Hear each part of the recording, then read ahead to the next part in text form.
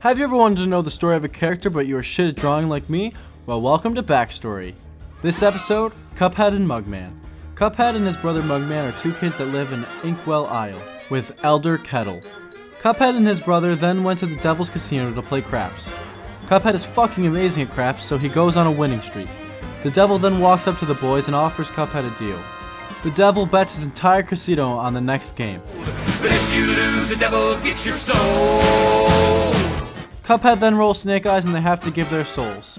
The brothers beg for mercy, so the devil tells the boys if they get the contracts for the souls of his runaway debtors by midnight of the next day, then he might let them off the hook.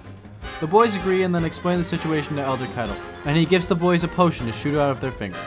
The brothers travel around Inkwell Isle, collecting souls from Cala Maria, Cagney Carnation, Baroness von Bonbon, Hilda Berg, Goopy Le Grande, Grim Matchstick, Werner Werman, Dr. Kahl's Robot, Djimmi the Great, Beppi the Clown, The Root Pack, Sally Stageplay, Rumor Honeybottoms, Phantom Express, Wally Warbles, Ribby and Croaks, Captain Brineybeard, Blind Spectre, Weepy, Blaze Brothers, Motado, T-Bone, Psy Carrot, and Head of the Train.